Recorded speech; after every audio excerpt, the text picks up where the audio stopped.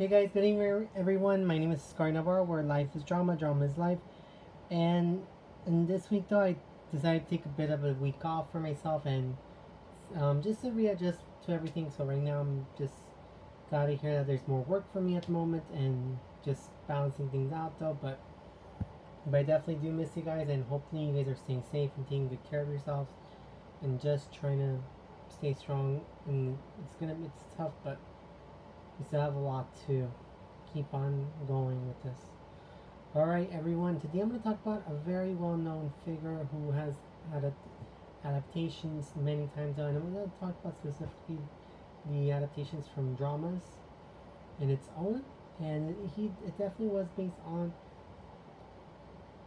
on a martial artist who who was prominent at the end of the Qing dynasty and was well known in for funding for funding an athletic association called the Jingwu or Jinwu Athletic Association. And his name is Huo Yuanjia.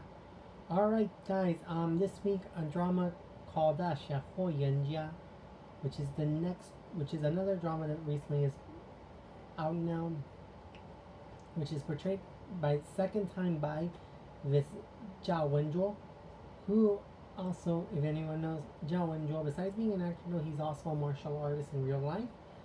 And definitely, Huo Yuanjia definitely was an was definitely more than just an iconic figure, though. He also fought for for patriotism, especially during the during the period where the Qing dynasty was falling, was collapsing completely.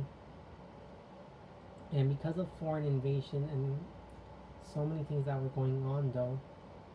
He was definitely also well known for for winning matches against opponents who were foreigners and definitely was known for his renowned skills and even the fact that he died definitely like that he died like two years before one year a year before the Qing dynasty ended though um, he definitely died very young, not like in his 20s, but like around 30s, 40s. But he definitely remained a subject of mythology, a subject of impact, and definitely has maintained a lot, a huge influence both in movies and television in itself.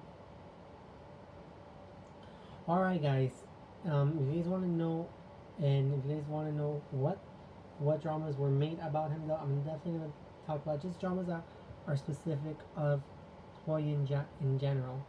Alright guys, in 1981, ATV has produced Daxia Huo Yuanjia and it is called The Legendary Folk and it starred Wong Wang Yuen San, Michelle Yeoh, Bruce Leung, Joyce do do do excuse me Do Xiu Ming and Bill Tung Bu. And it definitely was 20 episodes and definitely was a very successful drama at that time and definitely the theme song is by Johnny Yip. Definitely it's still memorable till this day. And I definitely definitely recommend everyone to also check this one out as well. And it's definitely on the TVB Wuxia channel. It's 20 episodes. I also recommend everyone to watch it. Alright, and in 1982, there's also another adaptation called Huo Yuanjia, which starred Wang Dao, and it was in CTS. And there's definitely not much info at the, um, but I did hear that it did, it did um, in Taiwan as well.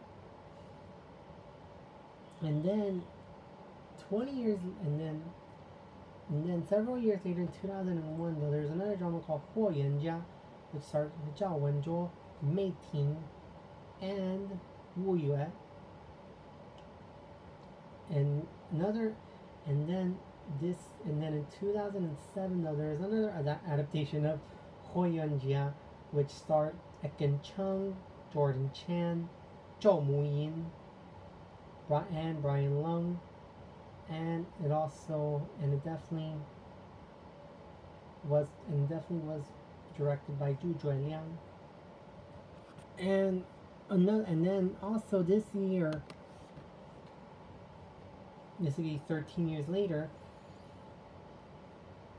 Huo Yuanjia would come back, and this time though it's played second time around by Vincent Zhao, Mao Linlin, Mao Linlin, Shi Xiaolong, Gao Xiong, and many more, and even a special appearance by Bruce Leung, who also makes an who definitely played Chen Zhen in the in the in the original 1981 adaptation. All right, guys, these are just the lists that are that I um, described. If there's any information, please let me know. And which one was my favorite adaptation? My favorite adaptation, though, I will definitely say though, would have to be the legendary Fok of 1981.